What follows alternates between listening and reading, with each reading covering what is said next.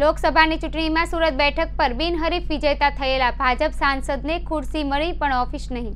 લોકસભાની ચૂંટણીમાં સુરત બેઠક પર બિનહરીફ વિજેતા થયેલા ભાજપના સાંસદને ખુરશી મળી પણ ઓફિસ નહીં. લોકસભા ચૂંટણીને પૂર્ણ થયાના ત્રણ મહિના બાદ પણ દર્શના જરદોશે ઓફિસ ખાલી કરી નહીં કરતા સાંસદ મુકેશ દલાલ દ્વારા અનેકવાર ઓફિસ અંગે સુરત જિલ્લા કલેક્ટરને પત્ર લખ્યું.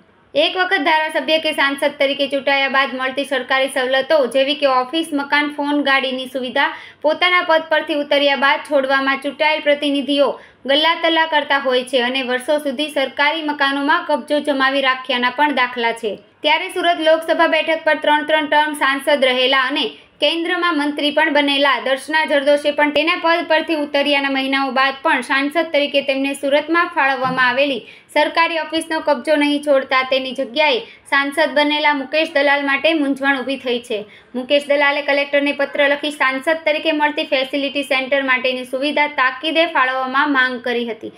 પરંતુ કલેક્ટર દ્વારા આર એન્ડ બી વિભાગ અને આર એન્ડ બી વિભાગ દ્વારા પૂર્વ સાંસદને પત્ર લખીને જાણ કરાઈ હોવા છતાં હજુ સુધી જગ્યાનો કબજો દર્શના જરદોશે નહીં છોડતા ભાજપના જ નેતાઓ વચ્ચે રાજકારણ ગરમાયું છે.